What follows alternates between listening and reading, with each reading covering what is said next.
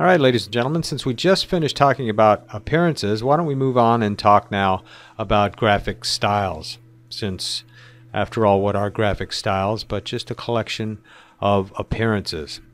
What I want to do is move this flyout over here so you can get a better look at it as we work. Now let me go ahead and select the rocket text that we worked on in the last lesson and let's take a look at the appearances that we applied to it to refresh our memories. Now what I want to do is take these appearances and turn it into a graphic style so we can use it over and over again. And in Adobe Illustrator CS4 that becomes a very simple task. All you got to do is grab this little chip right here. I don't know if it's really called a chip, but that's what I call it. Just left click, grab it, and drag it over to the graphic styles tab and that thing spring loads and pops out like you see here and then just drag it down here and add it to the palette. Now that has become its own graphic style. Everything that makes up this bit of text right here is now its own self-contained graphic style and we can apply it to whatever we want. Let me show you how to do that. All you do, I've got this little bit of text here typed out in advance. Just select it and then just click on it to add it. But before you do that, let's take a look at one of the other new features in Adobe Illustrator CS4, and that's the preview feature. Just hover over this little chip right here and then hold down the right mouse button and it gives you a nice little preview. Doing that makes it easy to take a look at how any of these graphic styles are going to look when applied to that text. Great little feature. See that? The other thing you can do, and I don't use this, but it's available, is turn all of your previews into a text preview. And there you go.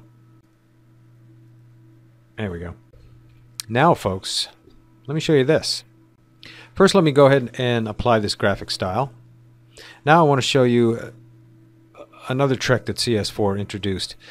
It used to be in previous versions that that um, once you have a graphic style selected, any other graphic style that you clicked on, it just replaced the other graphic style. That was your only option. Now, let me go back to this graphic style. You have the option of stacking graphic styles one on top of another. And you do that simply by alt clicking. Let me show you. Now, there you go. You can see it still has this graphic style applied to it, but it also stacked this graphic style on top of it. And let me show you what that graphic style contains. And we can do that by just going back to the appearance palette. With this selected, it's going to show you all of the new appearances that we have.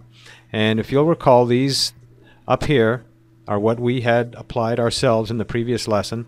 And now we just stacked this new graphic style containing these appearances onto this text.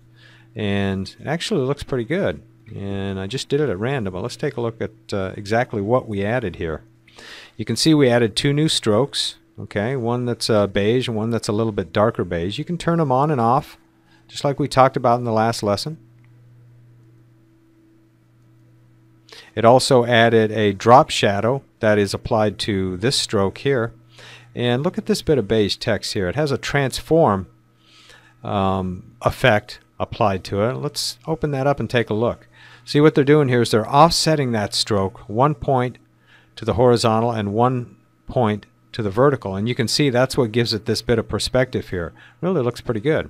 So now if you like this entire set that you have here, you can turn that into a graphic style as well using the same procedure we already talked about. Just grab this chip, drag it over here, spring loads, drag it down, and there you go. Now you have that as a graphic style. Quite wonderful, isn't it?